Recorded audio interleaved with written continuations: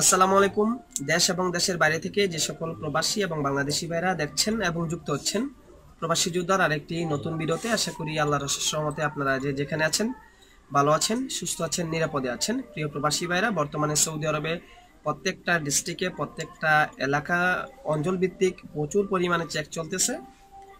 যে সকল প্রবাসী ভাইরা আপনারা ড্রাইভিংয়ে যুক্ত রয়েছেন বা ডেলিভারি কাজে যুক্ত রয়েছেন কোম্পানি হোক বা আপনার কফিলের কাজ হোক, যারা ডেলিভারির সাথে সম্পর্কিত রয়েছেন, অথবা যারা ড্রাইভিং এ নিয়োজিত রয়েছেন, যারা ট্যাক্সি চালাচ্ছেন বা কফিলের গাড়ি চালাচ্ছেন, আপনার একটু সতর্ক হন। এখন প্রচুর পরিমাণে চেক চলতেছে প্রত্যেক জায়গাতেই। কোন গাড়িটা নোংরা বা কোন গাড়িটা পয়, পরিষ্কার না, এই বিষয়টা দেখা হচ্ছে।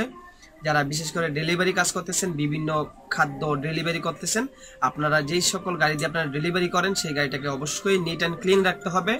যদি আপনার গাড়ির ভিতরে অপরিষ্কার বা নোংরা জাতীয় কোনো জিনিস পাওয়া যায় বা নোংরা অবস্থায় থাকে, সেক্ষেত্রে আপনাকে সৌদি সুরতা থেকে আপনাদেরকে কিন্তু বিভিন্ন জরিমানার ই করে দিবে। আপনাদের আকামার উপর জরিমানা দিয়ে দিবে।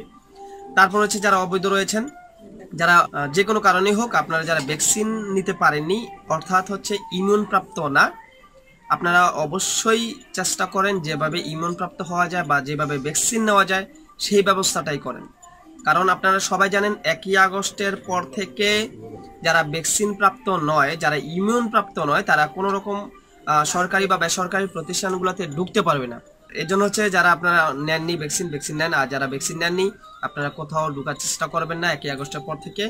ইমিউন প্রাপ্ত ছাড়া, আর যদি ঢুকার চেষ্টা করেন, তাহলে কিন্তু জরিমানার সম্মুখীন হবেন বড় ধরনের অ্যামাউন্টে অলরেডি অনেকে কিন্তু এই বলটি করতেছে।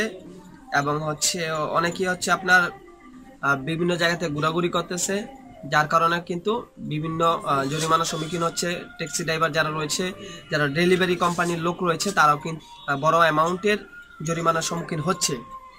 সো আপনারা যারা ডেলিভারিতে আছেন, অবশ্যই আপনাদের গাড়িটাকে পয় পরিষ্কার রাখবেন আর সেফটিভাবে চলাফেরা করবেন। তো আজকে ছিল গুরুত্বপূর্ণ আপডেট সবাই ভালো থাকবেন, সুস্থ থাকবেন। যারা এখন পর্যন্ত চ্যানেলটিকে সাবস্ক্রাইব করেন নাই অবশ্যই সাবস্ক্রাইব করবেন। যারা ফেসবুক পেজ থেকে দেখতেছেন, অবশ্যই পেজটিকে ফলো দিয়ে রাখবেন অথবা লাইক করে রাখবেন।